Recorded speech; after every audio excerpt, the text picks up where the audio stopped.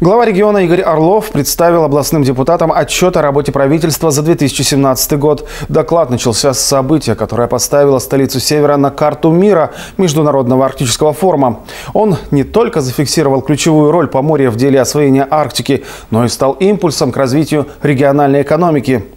Месяц интенсивной подготовки принесли существенную отдачу. Заключено 7 соглашений. Объем инвестиций по ним составит 27 миллиардов рублей. Впрочем, и без форума экономика Поморья показала устойчивую динамику. Архангельская область вошла в топ-10 регионов по темпам роста инвестиций. Воловой региональный продукт увеличился на 4,6%. Треть его формирует промышленность. Обрабатывающая обеспечила региону первое место по северо-западу. На самом деле цифры впечатляют. Да, вот особенно в сравнении с общероссийским. Особенно, да, это индекс промышленного производства 131%.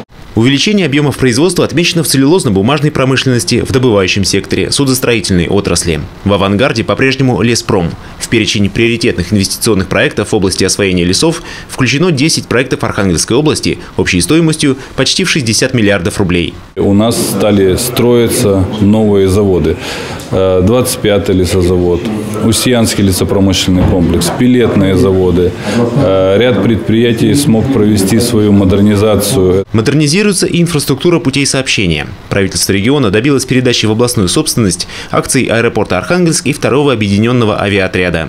Сегодня у нас формируется программа развития аэропортовой сети, то есть, в частности, туда входят и Котлас, и Лешуконская, и Соловки, и вот в Вельске инвестор приводит в порядок взлетно-посадочную полосу. И сегодня об этом говорил губернатор. То есть, есть движение вперед. Движение идет и по дорогам. В 2017 году на их строительство и ремонт было направлено более 7 миллиардов рублей. За счет стабильного финансирования значительно раньше срока удалось сдать, например, проезд сибиряковцев в Архангельске. Сдавали в регионе и жилье. По итогам программы переселения завершено строительство 208 домов. Заветные квадратные метры получили более 15 тысяч северян. 2017 год стал прорывным в системе здравоохранения. Положено начало практической работы по трансплантации органов. На приобретение современного медицинского оборудования было направлено более 160 миллионов рублей. В 2017 году были завершены работы по строительству перинатального центра, который изменит систему родовспоможения в регионе. До 2021 года продлена выплата регионального материнского капитала.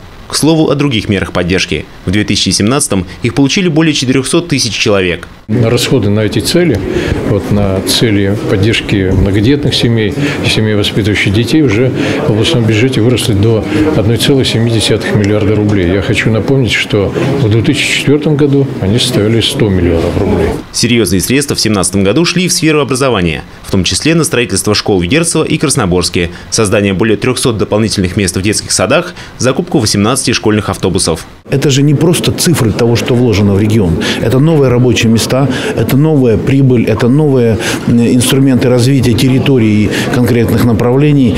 Мы, безусловно, выполнили все социальные обязательства.